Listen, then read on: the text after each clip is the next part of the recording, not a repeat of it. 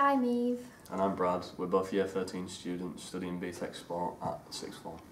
In Year 12 you do two units, Unit 1 and Unit 2. And Unit 1 is Anatomy and Physiology and Unit 2 is Fitness Training. You do both of these exams in Year 12. Um, my favourite is the fitness training and health programming because it included nutrition which helps me in my own sport which is running for me to improve my performances. Uh, in year 13 you'll go on to do two coursework units, unit 3 which is about professional development in the sports industry. Uh, I found this particularly helpful because I want to go on to be a physiotherapist myself and learning about this has helped me when applying for university.